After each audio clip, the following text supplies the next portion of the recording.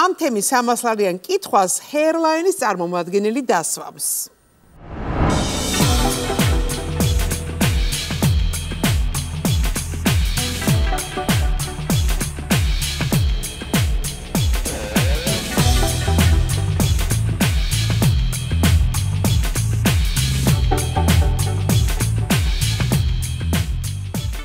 მოგესალმებითია, მივესალმები თქვენ სტუმარს, ბატონ გივის სიხარულიძეს და ფარული კოლონეტის მაყურებელს.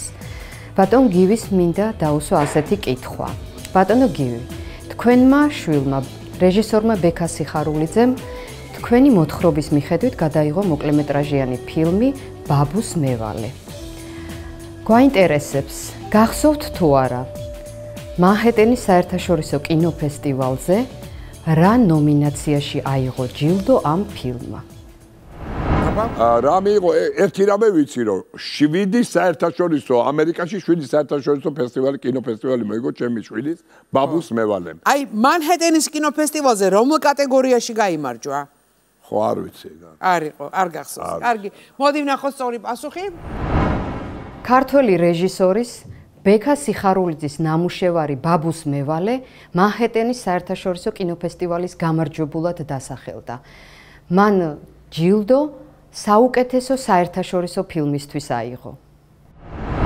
სამწუხაროდ შენ ვერ მოიგეს 300 ლარი, ეს იყო საუკეთესო საერთაშორისო ფილმისთვის.